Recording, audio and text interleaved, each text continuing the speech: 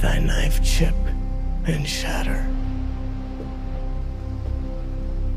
May thy knife chip and shatter.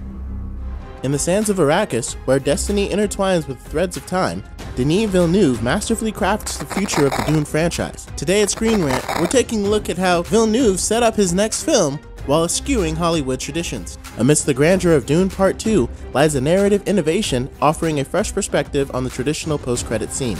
Denis Villeneuve, the visionary director behind the Dune saga, intricately lays the groundwork for the franchise's future throughout Dune Part 2.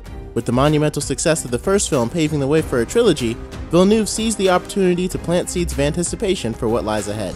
In a departure from cinematic norms, Dune 2 eschews the conventional post-credit scene. Instead, Villeneuve subverts expectations by embedding a pivotal moment 45 minutes before the credits roll, seemingly integrating the tease of what's to come within the fabric of the narrative itself. Amidst the shifting sands of Arrakis emerges the ethereal presence of Alia Atreides, portrayed by the luminous Anya Taylor-Joy. Though her cameo arrives well before the film's conclusion, its significance reverberates as a harbinger of the franchise's future. Anya Taylor-Joy's cameo, akin to a traditional post-credit scenes, serves as a tantalizing glimpse into the tapestry of what's to come. As Alia traverses the transformed landscape of Arrakis, veiled in mystery and intrigue, audiences are beckoned toward the horizon of Dune 3. In a nod to the conventions of the Marvel Cinematic Universe, Villeneuve embraces the practice of casting high-profile stars in minor roles to set the stage for future installments. Anya Taylor-Joy's ethereal portrayal echoes the MCU's penchant for tantalizing teasers promising a continuation of the saga yet to unfold. Within the labyrinth of Paul Atreides' prescient visions